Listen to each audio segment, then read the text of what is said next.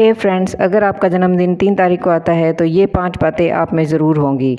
Number one आप बहुत confident होते हैं। नंबर दो आपको जीवन में बदलाव बहुत पसंद होता है। नंबर तीन, आप अपने कमिटमेंट से पीछे नहीं हटते। नंबर चार, आपका बचपन सामान्य यंग एज में काफ़ी स्ट्रगल और बुढ़ापा गौरवपूर्ण होता है।